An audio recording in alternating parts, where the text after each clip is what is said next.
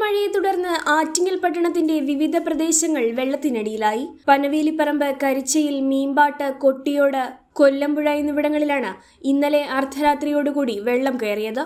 ചില സ്ഥലങ്ങളിലെ വയൽ കൃഷിക്ക് നാശനഷ്ടങ്ങൾ സംഭവിച്ചിട്ടുണ്ട്. എന്നാൽ പ്രദേശവാസികൾ സുരക്ഷിതരാണ്. നഗരസഭാ chairperson advocate S Kumari vice chairman G Thulaseedharan Pillai എന്നിവർ ഇവിടം സന്ദർശിച്ച് പ്രദേശവാസികളെ മാറ്റിപ്പാർപ്പിക്കാനുള്ള നടപടികൾ സ്വീകരിച്ചു.